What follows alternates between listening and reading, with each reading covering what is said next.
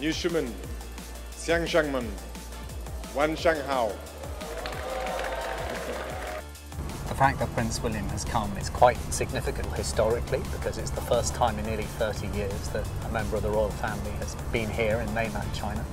But secondly, also it shows that this newest generation of the royal family to support Britain in, in terms of business and trade and prosperity.